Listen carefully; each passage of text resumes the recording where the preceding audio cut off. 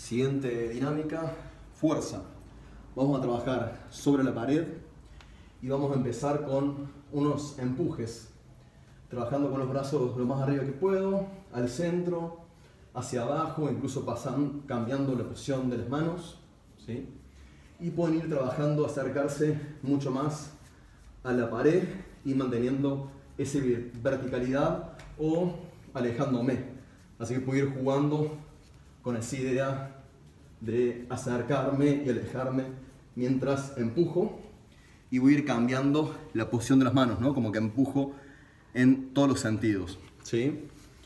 También pueden trabajar esto de manera lateral, es decir, cruzando el cuerpo, ¿sí? cambiando la posición del cuerpo contra la pared, o sea, estando más cerca, ¿sí?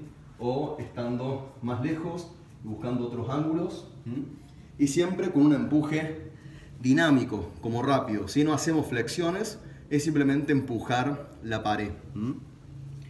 La otra dinámica que vamos a trabajar es los dedos de los pies y las rodillas están siempre en contacto con la pared, al igual que las muñecas y los codos. Y por último, la nariz pegada a la pared. Y acá, cuando exhalo, voy a bajar la postura sin despegar esas posiciones. Inspiro y subo otra vez. Voy a trabajar esto unas 4 o 5 veces y a medida que voy trabajando busco que cada vez pueda bajar un poquito más la posición hasta que incluso pueda llegar a límite de tocar el piso y subir que sería este challenge